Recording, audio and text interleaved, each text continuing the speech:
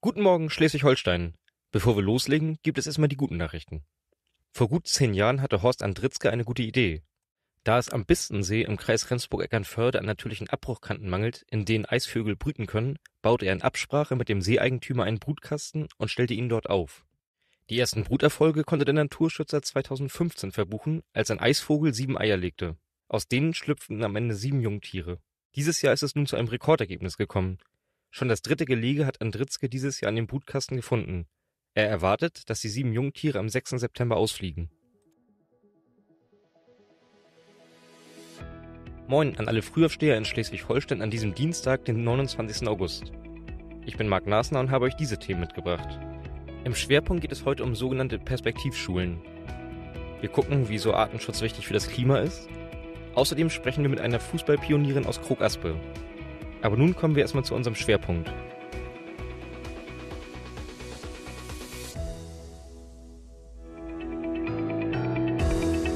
Heute im Fokus. 62 sogenannte Perspektivschulen gibt es in Schleswig-Holstein. Laut Bildungsministerin Karin Prien liegen diese in einem besonders herausfordernden sozialen Umfeld. In den Grundschulklassen gibt es viele Schülerinnen und Schüler, die kaum Deutsch sprechen oder sonderpädagogische Hilfe benötigen. Auch Schulen mit vielen Sitzenbleibern und schlechten Ergebnissen in den landesweiten Vergleichsarbeiten in Mathe und Deutsch zählen dazu.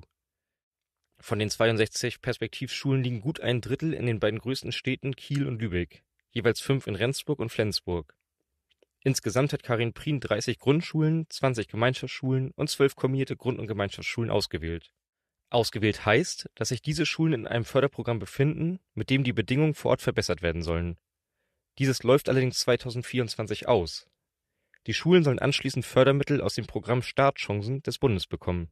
Allerdings will Bundesbildungsministerin Bettina Stark-Watzinger nur eine Milliarde statt der in den Koalitionsverhandlungen festgehaltenen zwei Milliarden Euro bereitstellen. Neu soll nach Stark-Watzinger sein, dass das Geld nach Bedarf vergeben werden soll. Die bisherige Verteilung funktioniert nach dem sogenannten Gießkannenprinzip, also an Einwohnerzahl und Steuerkraft orientiert. Nach Stark-Watzingers Plan würden Länder mit vielen Problemschulen auch viel Geld erhalten. Dazu gehören Berlin, Nordrhein-Westfalen und auch Schleswig-Holstein. Gemessen am Bedarf würde Schleswig-Holstein 41 Millionen statt 34 Millionen nach dem Gießkannenprinzip erhalten. Damit könnte das Programm Perspektivschulen fast komplett weitergeführt werden. Allerdings lehnen Bayern und Sachsen, die so deutlich weniger Geld bekommen würden, das System ab. Neue Verfahrensweise könnte werden, dass nur 5% mit dem neuen Verteilungsschlüssel vergeben werden und 95 weitere Prozent mit der Gießkanne. Zudem sollen alle Länder zu jedem Euro, den der Bund gibt, auch selbst ein Euro beisteuern. SH-Bildungsministerin Karin Prien ist damit prinzipiell einverstanden, möchte aber, dass die bisherigen Investitionen in Förderprogramme angerechnet werden. Und nun kommen wir zu unseren Klimanachrichten. Das Klima-Update aus SH. Meine Kollegin Mahe Krüsemann hat sich mit dem Thema Artenschutz auseinandergesetzt und geguckt, welche Rolle Artenschutz beim Schutz des Klimas spielen kann. Moin Mahe, wieso ist Artenschutz für das Klima wichtig? Kurz gesagt, wer das Klima schützen möchte, muss auch Artenschutz betreiben und andersrum. Denn je gesünder und vielfältiger so ein Ökosystem und darin vorkommende Organismen sind, desto resilienter ist es und desto weniger anfällig für Klimawandel-Folgeschäden. Intakte Moore und gesunde Wälder speichern außerdem viel mehr und viel effektiver CO2. Die helfen also sozusagen direkt noch mit beim Klimaschutz. Haben wir einen direkten Vorteil von einem Ökosystem, das geschützt wird? Ähm, ist so ein Ökosystem divers, also gibt es viele verschiedene Arten, dann herrscht auch viel Konkurrenz. Ähm, das ist erstmal etwas sehr Gutes, ähm, denn einzelne Arten können so nicht überhand nehmen und sich unkontrolliert ausbreiten. Und das ist besonders bei Krankheitserregern natürlich eine gute Sache. Und werden die Biotope hier bei uns in SH denn ausreichend geschützt? Wie das in Sachen Biotop- und Artenschutz in Schleswig-Holstein aussieht, äh, da lässt sich das gar nicht so gut für das ganze Land zusammenfassen. Ähm, es gibt nämlich regional sehr starke Unterschiede. Ähm, so setzt sich das, äh, der Kreis Rendsburg-Eckernförde zum Beispiel stark für die Wiedervernässung von Mooren ein und das klappt auch ganz gut. Äh, aber jeder Kreis hat ja mit eigenen Herausforderungen und Gegebenheiten zu kämpfen.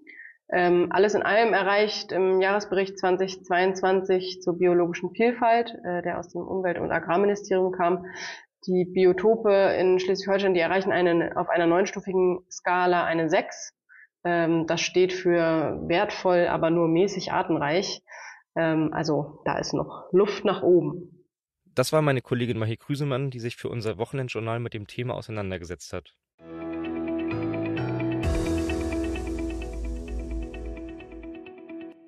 Das 49-Euro-Ticket läuft bisher in SH besonders gut.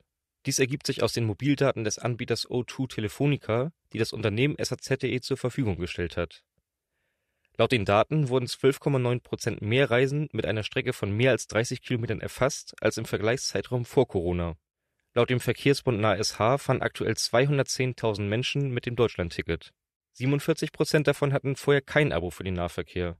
Nach der Mobilitätsanalyse nutzten besonders Pendler das Angebot zur Arbeit. Die Zahl der Bahnfahrten zwischen 6 und 9 Uhr stieg in Schleswig-Holstein um 41,2 Prozent. Auch bundesweit stieg der Anteil, jedoch nicht so stark wie in SH. Und nun die weiteren Nachrichten aus SH. Weitere News aus Schleswig-Holstein. Die Gottorfbrücke ist ein absolutes Nadelöhr für den Schleswiger Autoverkehr. Die Brücke leitet die Bundesstraße 76 über den Stadtteil Friedrichsberg. Dass die Brücke marode ist, ist seit vielen Jahren bekannt. Daher wurde sie auf zwei Fahrspuren verengt, um den Beton zu schonen. Allerdings wird die Brücke irgendwann weichen müssen. Einen finalen Zeitpunkt gibt es noch nicht. Aktuell laufen aber die Vorplanungen. Eine Berechnung des Landesbetriebs Straßen hat ergeben, dass die Brücke noch bis ins Jahr 2034 durchhalten müsste. Wird die Brücke abgerissen, hätte dies erhebliche Konsequenzen für den Autoverkehr. Dieser müsste dann durch den engen Stadtteil Friedrichsberg oder noch weiter durch das Umland laufen, wie das aussehen soll und wie hoch die Kosten sein werden, ist aktuell nicht absehbar.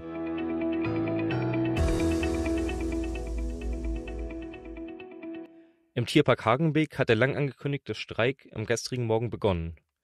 Tierpfleger haben für einige Stunden die Arbeit niedergelegt. Sie fordern mehr Geld für ihre Arbeit.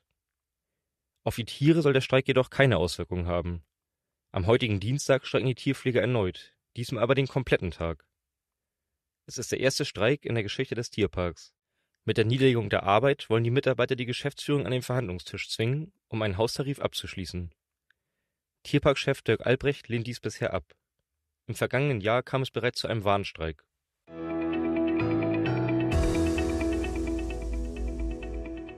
Außerdem möchte ich euch den Artikel Allein unter Männern, wie Eileen Stein vom FC Krug Asper Geschichte schreibt, von meinem Kollegen Lukas Sixus ans Herz legen. Eileen Stein ist nämlich die erste Frau, die in SH an Fußballpunktspielen von Männern teilnimmt. Möglich macht dies eine Regeländerung des Schleswig-Holsteinischen Fußballverbandes. Ziel von Eileen Stein war, diese Saison zumindest einmal im Trikot auf der Bank zu sitzen. Am ersten Spieltag konnte sie bereits zehn Minuten mitspielen.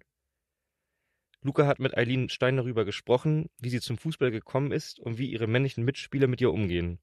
Den Artikel findet ihr in der Folgenbeschreibung. Ausblick. Am Donnerstag beginnt in Rendsburg die 73. Ausgabe der Landwirtschaftsmesse Norla. Mehr als 500 Aussteller präsentieren sich auf der ausverkauften Veranstaltungsfläche am Nordostseekanal. Ein besonderer Schwerpunkt liegt dieses Jahr auf erneuerbaren Energien und klimaverträglicher Landwirtschaft. Zur Eröffnung werden am Donnerstag Ministerpräsident Daniel Günther sowie Landtagspräsidentin Christina Herbst erwartet. Das war's auch schon wieder für heute. Die nächste Folge hört ihr am Mittwoch, den 30. August um 5.30 Uhr. Alle Themen könnt ihr auf saz.de nachlesen und kostenlos anhören. Einfach auf saz.de slash newspodcast gehen. Habt einen guten Start in den Tag. Bis morgen.